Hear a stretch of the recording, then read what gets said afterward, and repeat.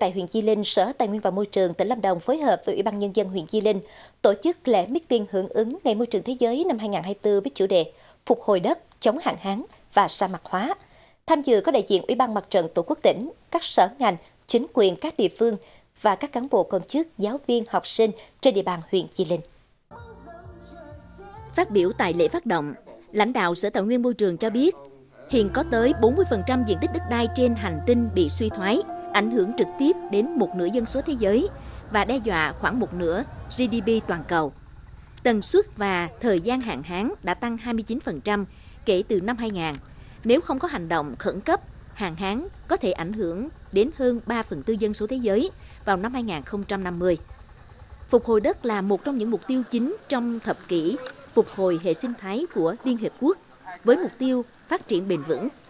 Tỉnh Lâm Đồng là một trong những vùng có tài nguyên thiên nhiên phong phú, là đầu nguồn của nhiều lưu vực sông quan trọng.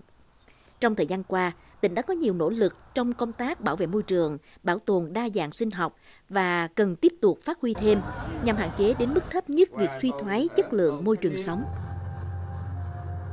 Tăng cường các hoạt động bảo vệ chất lượng đất hiệu quả, sử dụng và bền vững, không thải chất thải bẩn làm ô nhiễm môi trường đất, sử dụng thông minh và sử dụng đồ thân thiện với môi trường, giảm rác thải nhà kính và môi trường, sử dụng tiết kiệm hiệu quả nguồn tài nguyên nước và tăng cường các hoạt động tái sử dụng nước, chuyển đổi cơ cấu cây trồng, vật nuôi thích hợp với ứng phó biến đổi khí hậu và tiết kiệm hiệu quả, ít tiêu hao nước và bảo vệ bờ mặt không lạm dụng phân bón vô cơ, chiếm đất đai bị chai cứng, giữ nước kém, giảm độ màu mỡ của đất. Sáu là tăng cường sử dụng các phụ phẩm nông nghiệp ủ phân hữu cơ thay cho hình thức đốt rác phát thải nhà kính hoặc vứt bỏ gây ô nhiễm môi trường. Dịp này, Sở Tài nguyên Môi trường tặng 100 giỏ nhựa cho chị em phụ nữ Di Linh đi chợ, đựng đồ nhằm giảm thiểu việc sử dụng túi ni lông.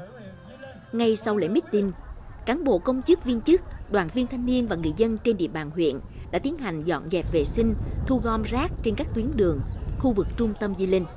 Cùng với đó, tổ chức các hoạt động như thu gom rác thải, chất thải rắn, khơi thông dòng chảy, quét dọn đường làng ngõ xóm, xử lý các điểm tồn động rác thải gây ảnh hưởng đến môi trường, tổ chức trồng chăm sóc cây xanh, cảnh quan nhằm lan tỏa thông điệp ý nghĩa, kêu gọi tất cả mọi người dân cùng nhau nâng cao ý thức trách nhiệm, đồng lòng góp sức để chung tay bảo vệ môi trường sống trong lành. Theo em là vấn đề hạn hán ảnh hưởng rất nhiều đến cuộc sống của con người. Hạn hán mang những cái tiêu cực đến cho uh, môi trường của chúng ta để ờ, phòng chống hạn hán là ta không nên chặt cây và trồng nhiều cây gây rừng hơn.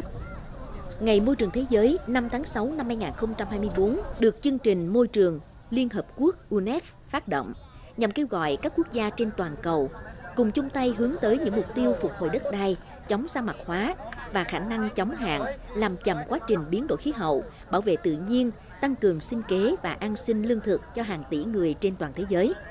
Và mỗi người dân địa phương với những hành động cụ thể thiết thực nhằm chung tay xây dựng một môi trường sống trong lành với những chương trình bảo vệ sự đa dạng sinh học và cảnh thiên nhiên tươi đẹp mà ít nơi nào có được như ở Lâm Đồng.